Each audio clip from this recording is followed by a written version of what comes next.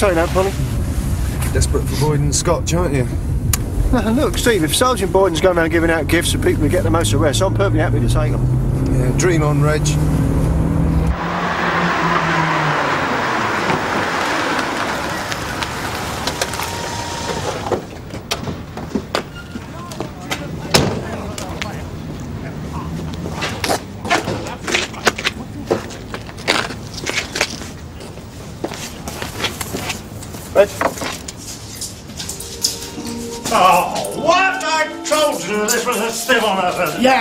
Want you to pay the bill. I'm not going to pay it. I'll get out. Let's try and sort this out without shoving people, shall we? Over here. Excuse me, sir, can you tell me what's happening? I take it you are in charge. Yes, I'm the manager. And I've been trying to get some money, or at least some sense out of that idiot for the last ten minutes. Was he refusing to pay his bill? Yeah, he said the food wasn't good enough. But he had most of it, and he certainly enjoyed the wine. Tell me your name, please. That sir. wine. That wine. Sir, is he alone? Tell me your name, please, sir. No, no, uh, there was a blonde woman with him to start. Tell me your name. Please. She did a runner just after we gave him the bill. I asked him to settle up, and all he could do was talk about his civil rights. Get out. Attaining, sir.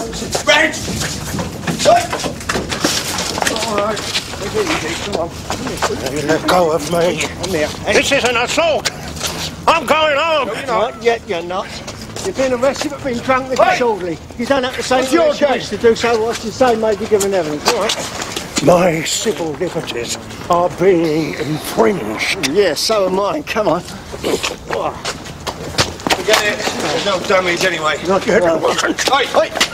Don't try that again. All right? You're not helping yourself, you know, mate. What about the money he owes? Has he left her his name and address? You have your own business. Well, I think it's best if I pass on those details when I get them, all right? Dan's busy. We'll have to take him. Oh, no. Come on. Look, look, look, look. In you get. Quiet. In you get. That was a disgusting meal. Yeah, sorry to hear that. And I don't have to pay for a disgusting meal. I know you're You know?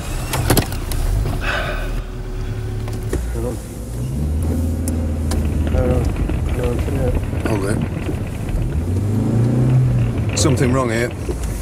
Where's me? Feels like a flat.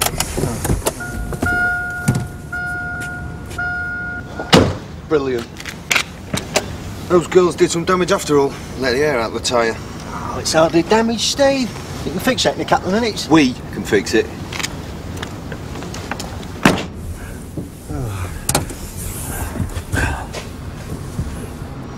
Where's the jack? Oh, no. Tony said he was going to get it fixed. And there's no replacement.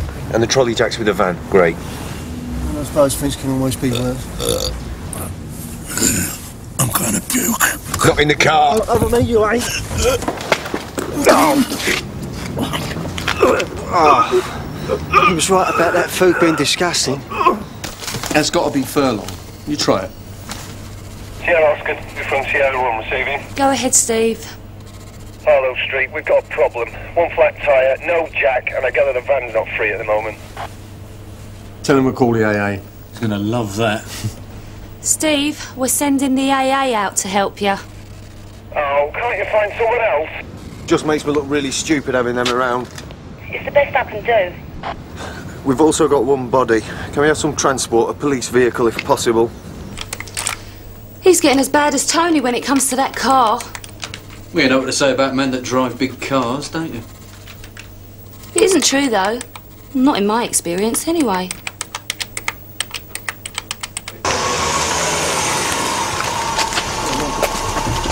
I changed the wheel for you myself, Steve, but I don't think my jack could take the weight of your huge car. It can only cope with little girly vehicles. Keep your windows open, Steve. And you keep your mouth shut, Reg. Don't you know anything about the law? How do you think I got the stripes then? You're in the same lodge as your boss, I expect. Still haven't told us your name, have you? No, and I'm not going to either. Yeah, it is. Yeah, well, you're the one with sick on your shirt. Down. On your side. Oh. Side. Uh, when you ring, son. Right, let's go.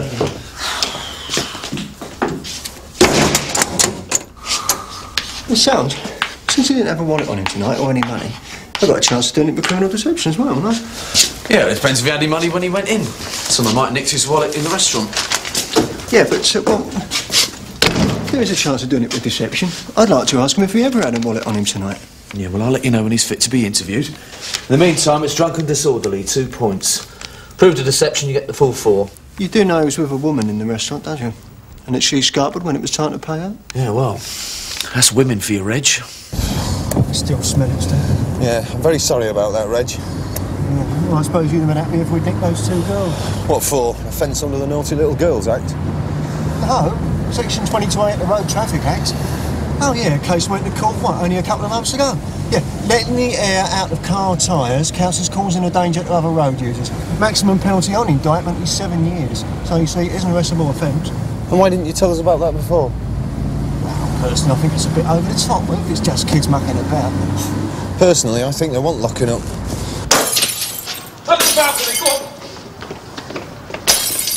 All units from Sierra 1. Attention requested to two females, both IC1, aged about 60. One's got long curly hair, she's wearing a silver jacket and a short skirt.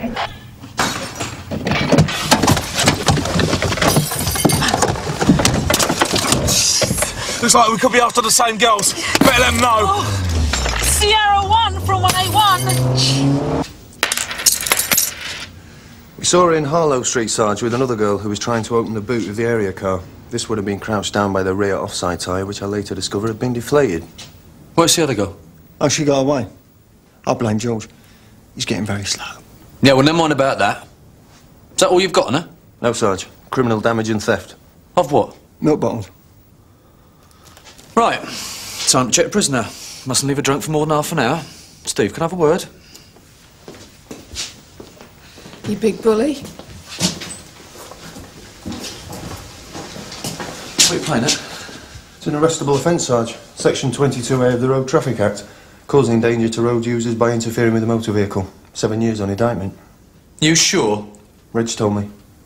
Oh, well, it must be right.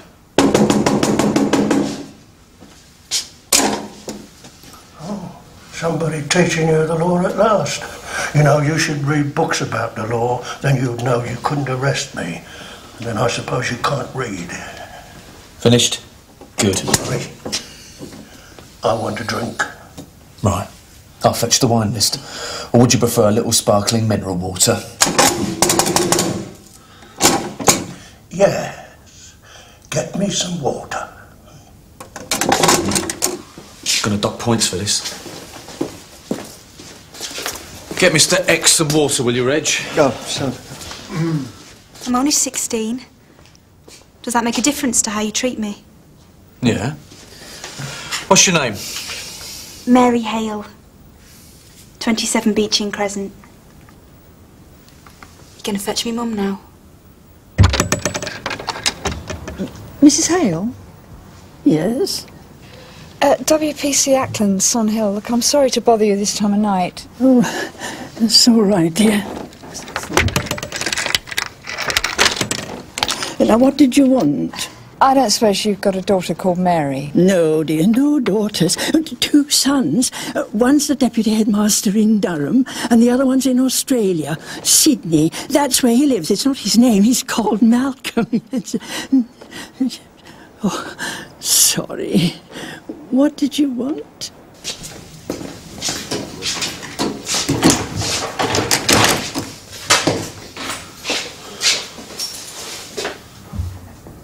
I didn't hear you knock. Shout if you need any help, Sarge. You're not Mary Hale, are you? And your mother's not Mrs. Hale. Well, it would be a miracle of science if she was. But I am 16, though. So I really think you should get me an appropriate adult. Don't you? You've been nicked before, haven't you? I'm saying nothing till I've got a grown up holding my hand. Okay. Who do you want this time? And make sure it's a relative. No, I can't help you there. I'll tell you what, though. You get me a social worker, and I'll be as good as gold. That'll take ages. Well, that's okay. I could do with a quiet night in.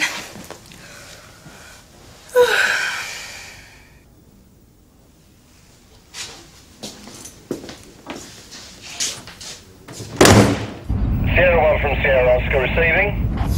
Mm. Go ahead, Sal. Harlow Street, a disturbance. Can you deal? Yeah, received, Sal. Uh, anything more? One female smashing plates and glasses in a restaurant. I think you know the place, Reg. It's called Cosa Nostra. Floor, Steve. Sarge, that's a social worker. Under an hour? That's a record. Giving up on the juvenile, Steve? Gill Gibson, Sarge. Sure that's her real name? Criminal damage. What, milk bottles? Do a search, Kath. Sure. Sergeant Boyden. Deflating a tyre sounds very petty to me. Well, one of my officers wouldn't agree with you. Can I talk to the girl before she's interviewed? Yeah, if you like. This way. Something's not right here. I agree. She should never have been locked up. I'd like to hear what you have to say about her. Really? Well, I might not be telling you. Come on, Mary. One social worker, yeah?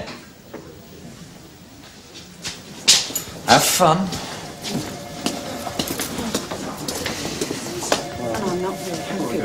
Excuse me, that's my boyfriend's. Look, I, I was just looking after it for him while we're in the restaurant. Oh, yeah. Laurie Coleman, so... Back in a Got minute. any more pockets? No, I haven't. Would you mind not doing that?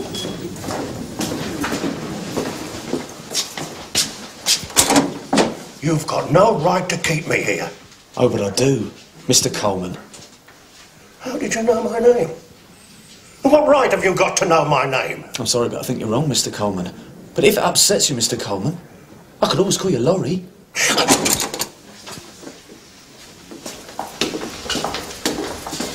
She says her name's Annie Barlow and she's 17, not 16, so you don't need me anymore. What was she playing at? It's almost as if she's enjoying all the attention. What, being locked up? Or maybe her home life isn't much copy. Well, it must be a bit grim if she'd rather be here. Uh, look, Steve, if Coleman was deliberately deceiving the restaurant, perhaps she'll tell us about it. She might. I thought you'd be keen to nail him after all that vomit. I am keen. Stop talking about the vomit, will you? Oh, what, you don't want me to bring it up again? I spy with my little eyes something beginning with P. Annie Barlow. No, that would be AB. I said P for policeman. Is your name Annie Barlow? Yeah. What's yours, big boy? Did you tamper with the rear offside tyre of a marked police vehicle earlier tonight? Reply, none. I have nothing to say. No comment, no answer. No speaker the English. You're not helping yourself here, you know, honey. What were you doing crouched down by the car? It wasn't me. Who was your friend? Come on, Annie. Who was the other girl? No reply, no reply, no reply, no reply. I can do this all night, you know. No reply, no reply, no reply. No reply, no reply, no reply. Oh, what? What do you think the toilet's for? Couldn't you be sticking to that? There wasn't time to get over there. You did this on purpose, didn't you? Hoped I'd have to clean it up. Don't be stupid. Or is being stupid a job requirement? Now put me in a clean cell. What, so you can redecorate that one? I don't think so. I have the right to a clean cell. You have the right to a mop and bucket. Oh, Sergeant, thank you so much. Oh, look, a new set of stripes.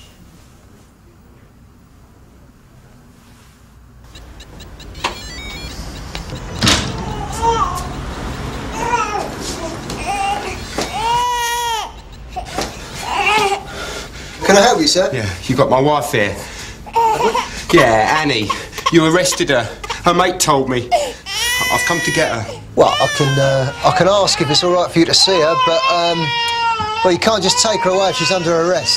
She's got to feed the baby soon. Well, don't you use powdered milk or something? But I don't know how to mix it up. That's her job. What? I'm not one of the train robbers, for goodness sake. It's all cold. I'm afraid it's.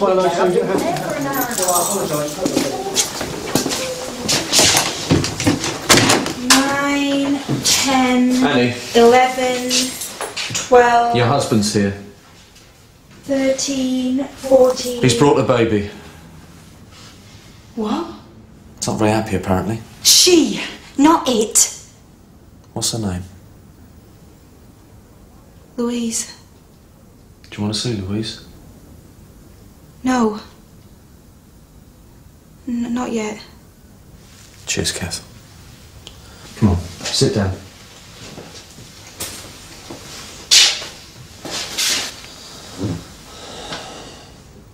You don't have to see him. It's your choice. But think about the baby. That's all I do these days. No one else does. Your husband? He reckons it's all down to me. I just wanted a bit of time by myself. Used to be a laugh when I was out with me mates. That's all I wanted tonight. Another laugh. Not another night at home with Louise and Ricky and Ricky's mum and dad. They treat me like a slave, you know. I make all the meals for everyone just 'cause it's their flat. So you used us for a bit of light relief. Yeah. She brought me a cup of tea. No one's done that since I had the baby. Do you want another cup of tea? Right, I'll get you one. Then you've got to tell us what you want to do, right?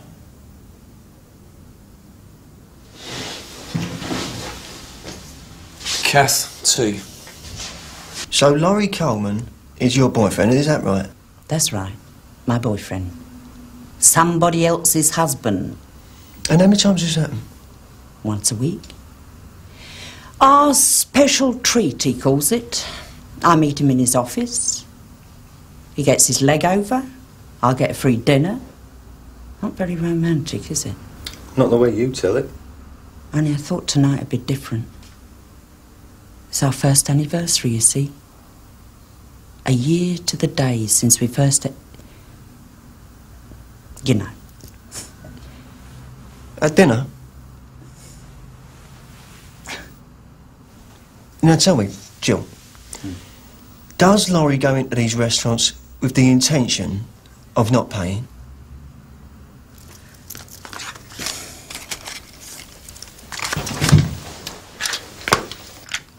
What happens if I tell you that he does? Well, we'd have to talk to him about the possibilities of criminal deception. No, I can't get him into trouble. What are you saying? I'm saying that all his complaints in restaurants have been legitimate. They've all been civil matters. His wife would kill him if she knew. I'm sorry.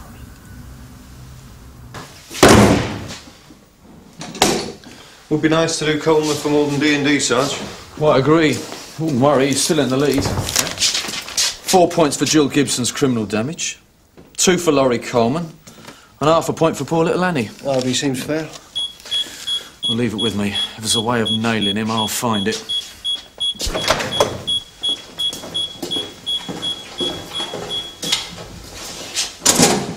Mr. Coleman. My wife. She won't be told about my friend at the restaurant, will she? No, of course not. You married? Was. Till I found myself in your position. Then you will understand, won't you? Yeah. Then you won't let the cat out of the bag? Trust me. Oh, Laurie, Laurie. I've been having a think.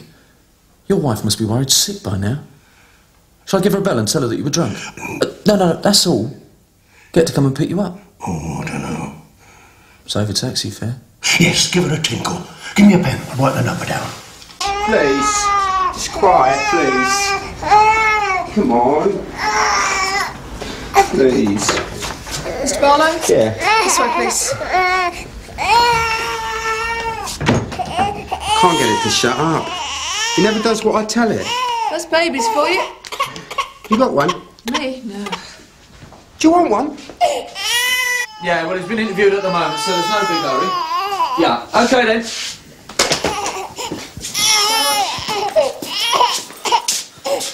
This way. The silly cow done something stupid? What, apart from marrying you? What's that supposed to mean? Work it out for yourself.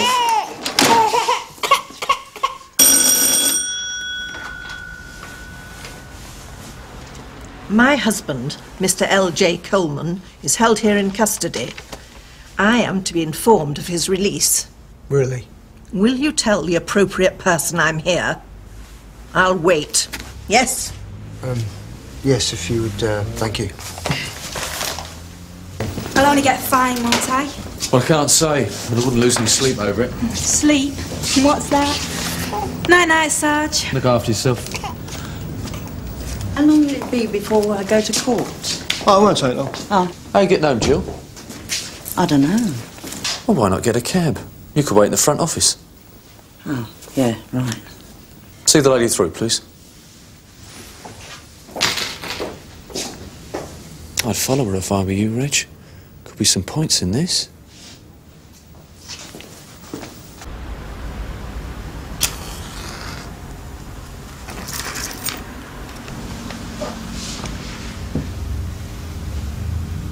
Something you want, Reg? No, just looking. Thanks.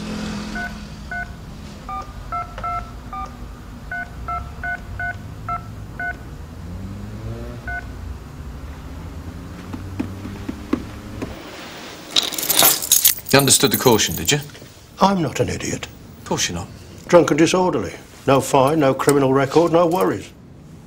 Your wife's in the front office. I'll show you the way. I could do that, Sarge. It's all right, Kath. I can handle it. Laurie? Hmm.